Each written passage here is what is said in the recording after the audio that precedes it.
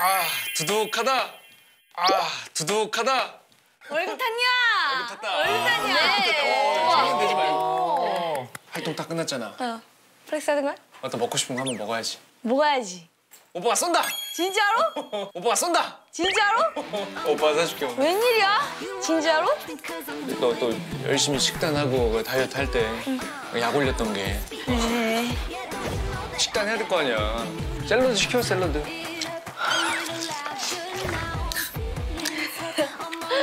미치겠네. 아니, 잘 먹겠습니다. flex 한다. 어. 물질적인 거 가장 중요한 걸 맡고 있죠. 가시죠 누나.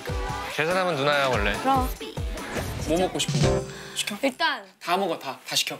일단은 나 활동하면서 피자가 너무 고팠어. 다 시켜. 진짜로? 다. 나, 나 먹고 싶은 거야? 응.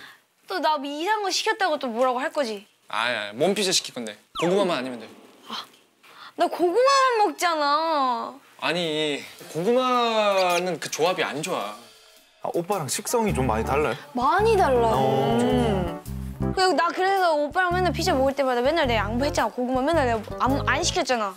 나는 페퍼로니 못 먹는데 오빠 때문에 맨날 페퍼로니 시켰었잖아. 이번에 좀 그 양보해줄 수 있는 거 아닌가? 이번에 좀 그 양보해줄 수 있는 거 아닌가? 오케이. 고구마? 고구마로 가자. 진짜로? 피자 고구마로 가. 와씨 일이냐? 어. 나 그럼 고구마 피자랑 고구마 crust까지 한다. 야 두 번 추가해. 씨. 확실하게 또 쏠 때는 확실하게 알았어. 써야지 또 와. 나중에 또 나한테 오거든. 와. 추 3천 원. 오거든, 와. 추 3천 원 추가하게 만들어 준다고? 고구마? 고구마 피자 안 좋아하세요? 아시죠? 맛있죠? 맛있죠? 최고죠. 아버지 역시 아버지? 아버지? 넌 내 딸이 아니야. 네가 내 자식이었단 말이야? 조회수 나오겠네. 고관의 자식이었다니. 이해나로 바꿔야겠어.